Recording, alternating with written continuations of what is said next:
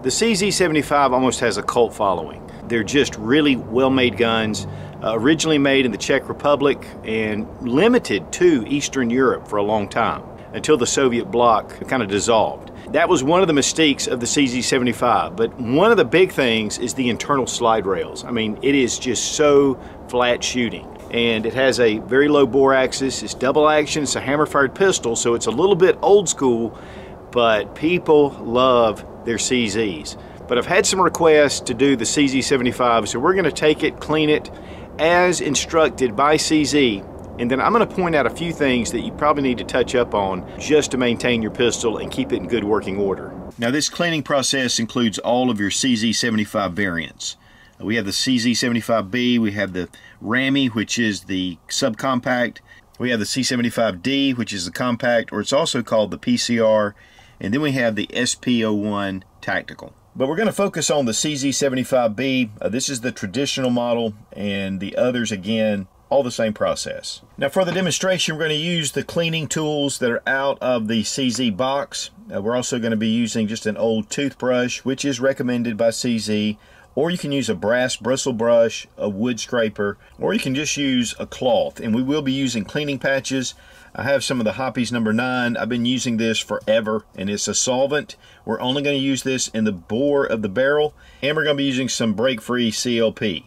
Uh, there's a lot of different choices out there, and obviously you can use whatever. CZ does not necessarily recommend any specific type. Now the first thing we're going to do is to make sure the gun is unloaded. We're going to drop our magazine, check to make sure the chamber is empty, and it is. Now with the hammer in the rear position, or at least in half cock, bring back your slide to where these two notches meet. And then flip your pistol over, and it's easier to take the base of a magazine and just push on that little takedown pin. And here we're just going to remove it. And then your barrel should slide off of the frame. One of the real unique things about the CZ75 design is the internal slide rails in the frame. And you can see they're on the slide. And so it's one of the things that helps keep this pistol really low and then also it makes it really flat shooting. I mean, that's one of the big secrets of the CZ design. Now we're going to remove our recoil spring and guide rod. It is polymer. And then we'll remove our barrel. And guys, that's pretty much all you need to do to get started cleaning. Now, according to CZ, if the pistol is unfired or has just a few rounds through it, uh, all they recommend is using your cleaning rod tool and then from the breech side or from the, the chamber, is to insert it with that clean rod. Now this one's been fired quite a bit. Uh, and then you just run the patch through until it's clean. But this one has definitely been shot quite a bit more, so it's a little bit of a different process. Now because this pistol's fired, we're going to take our solvent, we're going to take our brush, just dip it, and then we're going to take our barrel, and from the breech side again, from the chamber, we're just going to push it through. And you want to go all the way through and then bring it back through. And you just do this a number of times. It doesn't really specify it, but typically for me, I do it about 10 times.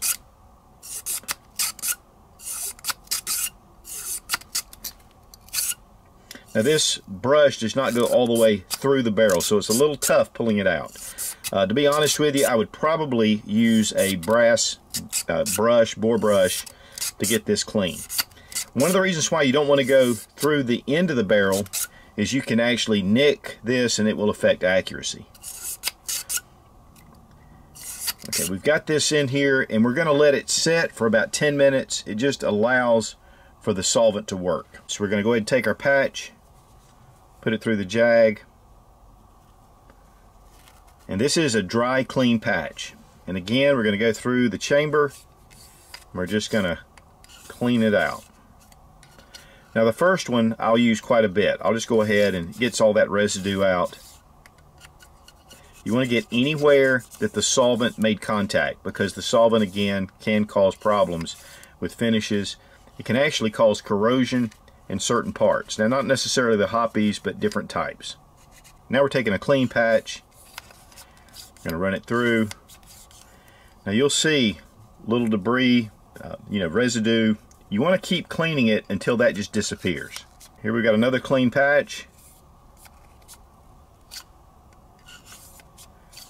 And you just want to run it through again until this is clean. And this is pretty clean. Let's go ahead and remove our recoil spring from our guide rod. Uh, this is polymer. Now we're going to take just a little bit of the CLP or the oil lubricant, just put it on here. We don't want a lot and let it soak in. Then you want to just take your barrel and we're going to go through every part and we're just going to wipe it down. Just a little bit of lubricant. This should kind of adhere to the metal. You want to clean out around the chamber.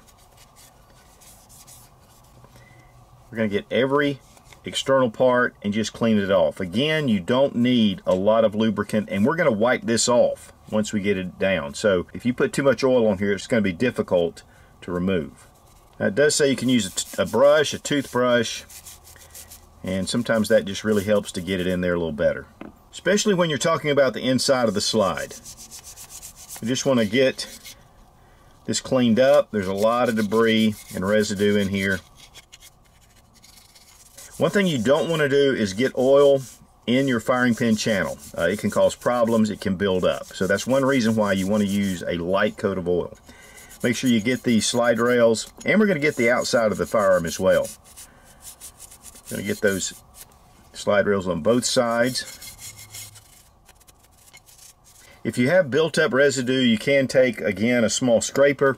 Uh, one thing that I like to use is maybe a little plastic scraper and I can get any kind of residue out of here and then we'll want to clean that off and just wipe it down. Under your extractor, that's one place that things can build up. Powder, uh, residue from the powder, lead fouling, and then here in the dust cover and on your locking block. And make sure you get those rails that are on the in internal rails there and you don't want to get a lot of lubricant down into this area right here. Um, it'll really make a mess. And again, your magazine well just keeps it good and clean. Just a little bit of oil also in your barrel.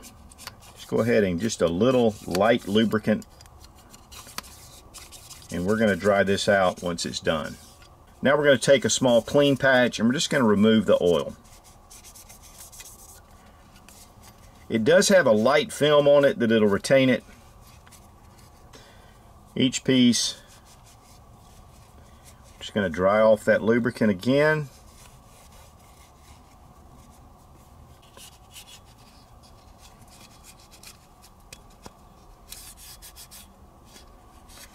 Those slide rails, any excess oil, just get it off. Into your slide, a lot of residue builds up here. Some people take Q-tips, which works well. You can, especially in these crevices and in your slide rails. But you'll be surprised how much this little light coat of oil will do very well on most of the parts of your firearm. Right here where the firing pin is, you want to make sure you get that cleaned off. Again, I would do that with a dry cloth as much as possible. To keep oil from getting down in there. Now we're going to get the surface of the firearm. And here we've got quite a bit of lubricant. We're going to need to wipe that off but we're going to get that on these areas. It'll keep it from any kind of rust or any kind of corrosion.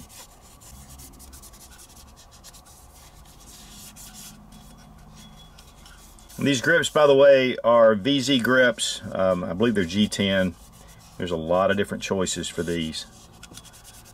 Make beautiful grips one thing CZ recommends is that you inspect to make sure that there's no lint or any kind of fouling or bristles. We can see here, if you're not careful, some of this stuff can get lodged in here and cause problems later. So we want to make sure we do a good inspection. Plus, it helps us to see any kind of buildup. Again, we're going to inspect in our slide here, making sure there's no lint or anything inside the barrel. Then I take a cloth and I just remove any excess oil uh, on the exterior. This just keeps it nice, keeps the fingerprints down as well. Man, that looks really good. Now each time that you shoot, uh, CZ recommends that you run a dry patch through your barrel. Uh, so that's just one of the things they recommend. Now to keep your magazine clean, just depress the little detent right here and then just push and pull off the base plate of your magazine. Now you want to hold your thumb here because you don't want this to come flying off. We've got our follower in here, we're going to take it out. Now that's just the way to disassemble it, it's pretty easy. We're going to take a cloth and just kind of give a little bit of oil to the spring, not a lot. Again, we don't want buildup. Then inspect the body of your magazine, just making sure that it's good and clean. There's no debris in there. And you can give the body of the magazine just a little coat of oil and we'll wipe that off. You can see these strings coming off like that. You just, again, want to make sure those don't get trapped. Follower, just clean it off. You can do that actually with a dry cloth. Okay, we got the magazine clean. We're going to go ahead and insert our follower. And we can put our magazine spring, making sure that our base plate retainer plate is in place. Hold it down and then take the base plate from the front of the magazine. Just fits over these little rails.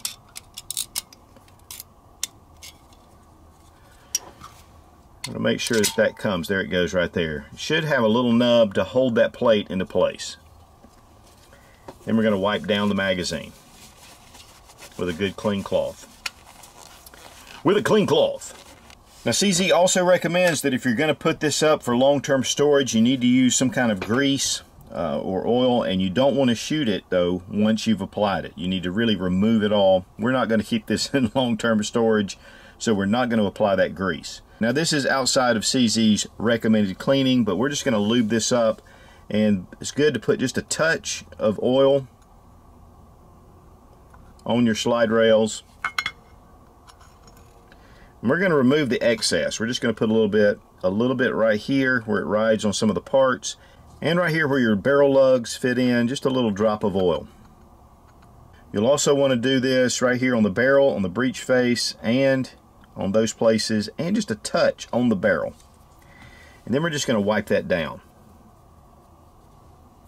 In the guide rails, a little bit of oil. Guys, I'm telling you, it doesn't take much. You want to remove any excess. And just a touch of oil right here on your takedown pin or your slide stop. But again, you want to get that wiped down, get all the excess oil off. Now we've gotten everything clean, let's go ahead and insert our barrel. We're going to reattach our recoil spring and guide rod. Slide it in. There's a little nub right here on the recoil spring and it wants to fit right on right here at the barrel. You'll notice that it does bow out and it does that with all of them. Uh, and then again we have our internal slide rails. To bring those over. We're going to line up our notches to the correct position and then just reinsert our slide stop. It goes in with a snap.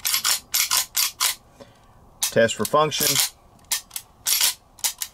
Man, it's slick, slick, smooth. There we go. So guys, I hope that this helps keep your CZ75 running for a long time. Down in the comments, if you have a CZ and you've experienced certain things with it, please leave it in the comments below if there's a certain way that you like to clean it. It's just great to have those comments down there. People read them, and um, I might learn a few things myself. Be strong, be of good courage. God bless America. Long live the Republic.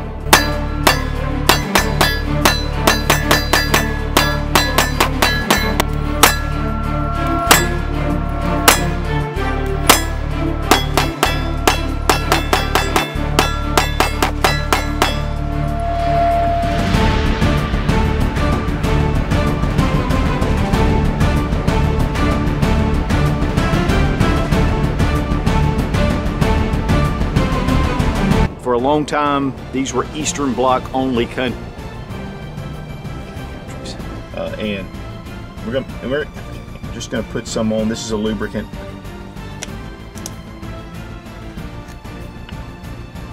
Well, one down, three to go.